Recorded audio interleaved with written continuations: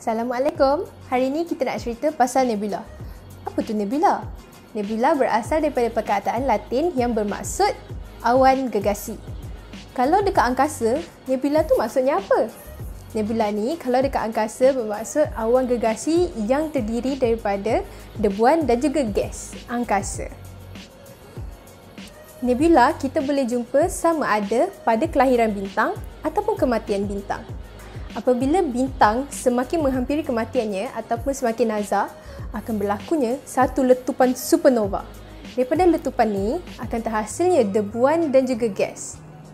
Kalau dekat kelahiran bintang, akan terwujudnya graviti yang akan menarik debuan dan juga angkasa yang memang sudah berada di kawasan itu untuk menjadi semakin mampat. Maka, jadilah nebula. Nebula yang saya nak cerita pada hari ini adalah Nebula Orion ataupun Nebula Berlantik. Nama lain untuk nebula ni adalah NCG 1976 ataupun Messiah 42. Nebula berlantik ni jenis nebula resap. Apa maksudnya? Ini bermaksud nebula berlantik ni tak ada bentuk yang spesifik. Maknanya dia bentuk dia tidak sekata. Kat mana kita nak jumpa nebula Orion ni?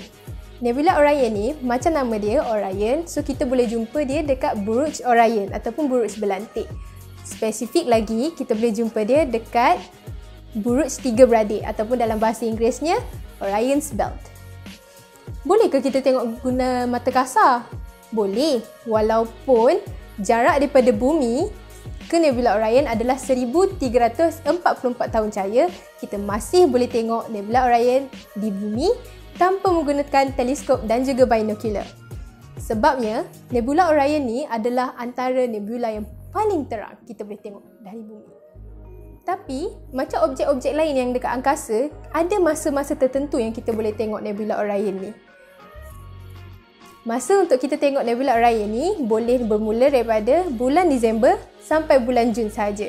Kita boleh tengok janji kita jauh daripada pencemaran cahaya besar ke Nebula Orion ni? Besar. Daripada hujung ke hujung Nebula Orion ni, uh, jarak dia adalah 24 tahun cahaya. Kalau nak dibandingkan dengan objek yang berada sekeliling kita, jarak daripada matahari ke planet Pluto mengambil masa dalam 4 hingga ke 6 jam cahaya.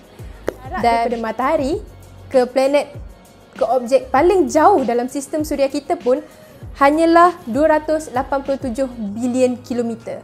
Kalau 24 tahun cahaya ini ditukarkan kepada kilometer, ianya adalah sebanyak 227 trilion kilometer.